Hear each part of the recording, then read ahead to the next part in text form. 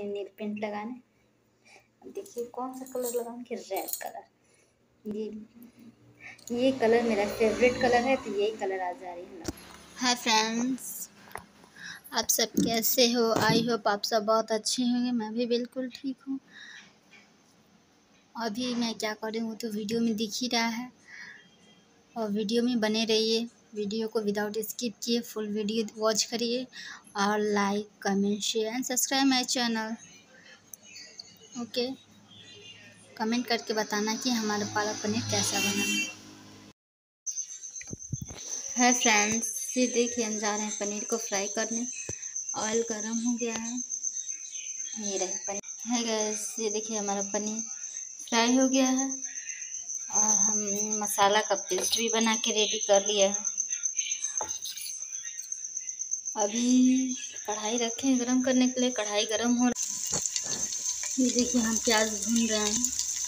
प्याज में अब नमक डाल के अब इसको थोड़ी देर के लिए ढक के छोड़ देंगे। तो प्याज गल जाएगा, फिर इसके बाद से हम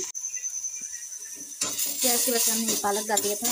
पालक भी गला है, गल गया है। अब उसके बाद देखिए इसमें मसाला डालेंगे। पालक बहुत अच्छे गल गया है। अब उसके इसमें मसाले डालेंगे। ये मसाले में है लहसुन, मिर्चा, जीरा मिर्च बस इतना ही है। उसके बाद हमने हल्दी डाल दिया है। अब इन सबको भूनेंगे थोड़ी देर के लिए। भूनने के बाद से फिर पनीर और पानी डाल के छोड़ ये झटपट बन के पालक पनीर तैयार। देखिए फ्रेंड्स हमने पनीर डाल दिया, पानी भी डाल दिया अपने हिसाब से। अब ये हो जाएगा हो जाएगा पालक पनीर बन के रेडी अगर रेसिपी अच्छी लगे तो वीडियो को लाइक करना बिल्कुल भी ना भूलना और शेयर भी करना। हम आपके एक शेयर से हमें बहुत बड़ा सपोर्ट मिलता है। Please guys support me and subscribe my channel की सब्ज़ी बन के रेडी हो गया है। और देखिए, सब्ज़ी कैसी लगी ज़रूर बताइएगा। पालक पनीर की सब्ज़ी।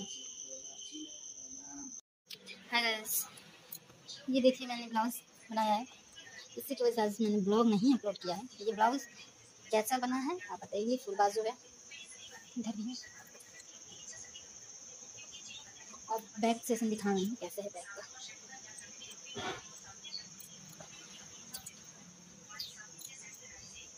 बैक के डिज़ाइन में है। अभी इसमें लेस लगाना बाकी है। लेस कम लगा के फिर मैं से कंप्लीट आपको दिखाते ये मेरा ब्लाउज़ कैसा लगा? आज मैंने दिन है इसी की सिलाई की है और ये बोट नेक है। का और कैसा लगा? वीडियो में कमेंट करके ज़रूर बताइएगा।